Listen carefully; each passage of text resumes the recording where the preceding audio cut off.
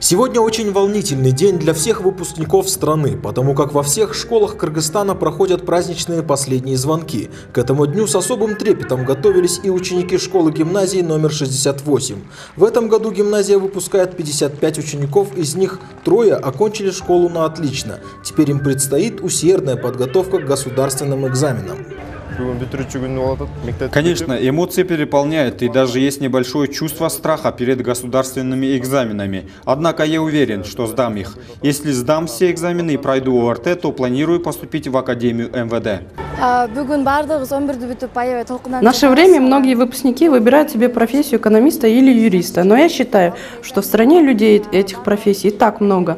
Потом тяжело будет устроиться на работу, поэтому планирую поступить на факультет инженерии.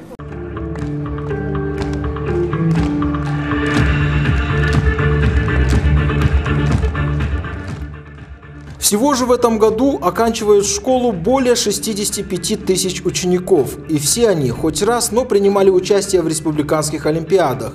Кто-то участвовал в спортивных мероприятиях, кто-то в интеллектуальных. Школа-гимназия номер 68 тоже может похвастаться достижениями своих выпускников. биылғы оқу жылы біз э, мектеп деген статуста эмгектендик Ученики нашей гимназии участвуют во всех республиканских олимпиадах и занимают не последние места. Необходимо отметить, что в этом году нашей школе присвоен статус инновационной гимназии, потому что преподаватели обучают детей по новой выработанной инновационной системе. Поздравить всех выпускников и учителей с окончанием учебы приехал лидер фракции СДПК Чиныбай Турсумбеков. В своем поздравлении он пожелал всем выпускникам успехов во всех начинаниях и передал в дар библиотеки школы-гимназии энциклопедию Алыкулу Осмонова и собрание произведений великого писателя Чингиза Айтматова, а также свой поэтический сборник «Джалынтоо». Хочу передать в вашу библиотеку бесценные книги известных кыргызских мастеров пера. Это энциклопедия великого поэта-драматурга Алыкулу Осмонова и восьмитомное собрание всех произведений народного писателя Чингиза Айтматова. Э. Чинабай Турсумбеков также отметил, что проблемы в сфере образования накапливались на протяжении 20 лет, но в последние 5 лет государство начало активно решать вопросы школ. В 2014-2015 годах было открыто 42 новые школы. Постепенно начали решать проблему дефицита учебников, потому как выпустили более полумиллиона экземпляров на сумму в 100 миллионов сомов, а в школы закупили около 700 компьютеров.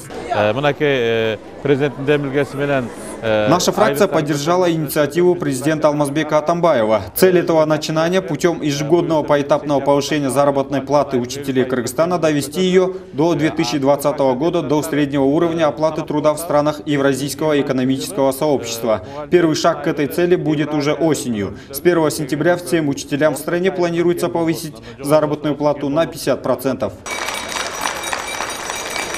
После праздничного последнего звонка первоклассники отправятся на каникулы, а выпускники начнут готовиться к государственным экзаменам. Свои пожелания выпускникам подарили и самые маленькие.